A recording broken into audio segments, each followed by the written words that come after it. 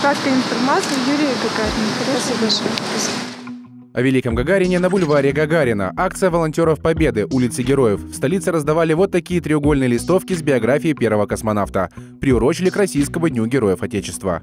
Я считаю, что именно такие акции будут пробуждать молодежь и дух патриотизма. И такие акции помогают отдать дань памяти тем, кто увековечен на страницах истории.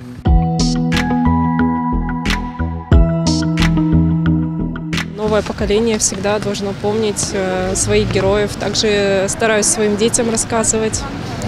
Вы сказали, что вас э, сын интересует сейчас космической Да. тематикой. Да, ему пять лет, да, и сейчас как раз самый возраст, э, ему очень интересно. Спасибо огромное, будем изучать. В листовке не только о подготовке Гагарина и о том самом полете, еще и о связи с Приднестровьем.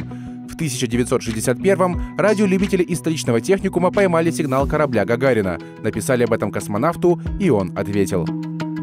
Такую же акцию сегодня провели в Бендерах. На треугольной листовке история подполковника Емельяна Ермакова, участник Яско-Кишиневской операции и освободитель Бендер. В августе 44-го одним из первых вошел в город. Через год погиб в боях за Венгрию. Листовки в Бендерах раздавали как раз на улице Ермакова.